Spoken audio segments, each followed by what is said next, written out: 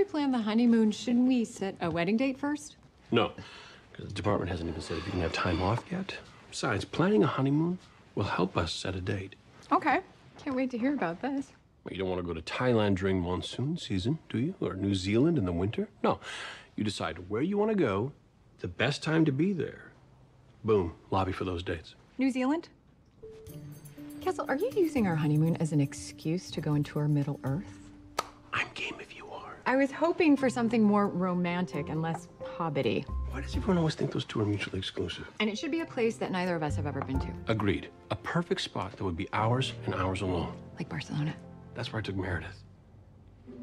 Okay, um, Galapagos. I've always wanted to go there. Gina. Seriously? Yeah, part of our whirlwind honeymoon tour. Fine, Swiss Alps. I hear they're breathtaking. They are. No. Yeah, that's where uh, Meredith and I used to winter. You know what? I think a better plan would be for you to make a list of all the places in the world that you've never honeymooned, vacationed, or married any of your other wives. How hard could it be? Albania and Finland. That's all you got left. Well, we traveled a lot. Look, I'm sure I can think up some other places. Yeah, well, my vote's for someplace warmer. Ah, maybe you're right. Maybe we should just focus on setting a date.